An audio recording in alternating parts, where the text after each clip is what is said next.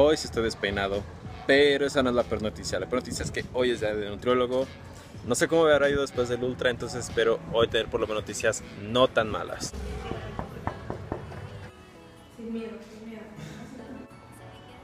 Y si más 77, ¿Qué? Don Fernando.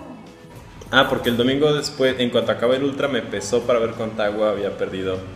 Y yo digo que recuperé un chorro de agua.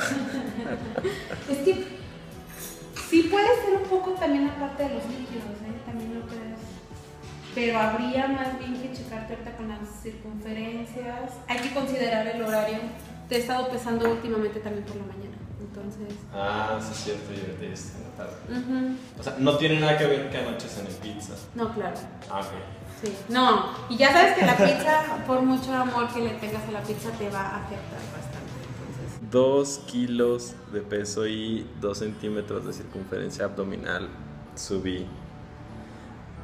Sí me porté un poquito mal después del ultra, eso sí lo tengo que reconocer. Pero por otra parte me lo merecía.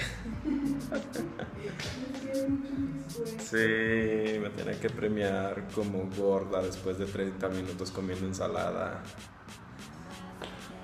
Entonces, otra vez, a ponerme en régimen súper estricto de respirar cerca de la lechuga sazonada con la sal de mis lágrimas. Lo que me está explicando Perla es que también tuvo mucho que ver que disminuyó el volumen de entrenamiento. Entonces, el aumento de peso es como 80% mi culpa, 20% del entrenamiento. Entonces, sí sigue estando mal, ¿verdad? Sí. Ok, sigue estando muy mal. Bueno, pues malas noticias de que sube de peso, buena noticia de que hay que regresar al orden. Muchas gracias, Perla. Nos vemos la próxima semana. Bye. Tiene dinosaurios. Bueno, eh, pues ya vimos, ¿no? La. No diría que fue un fracaso, pero simplemente no me fue bien.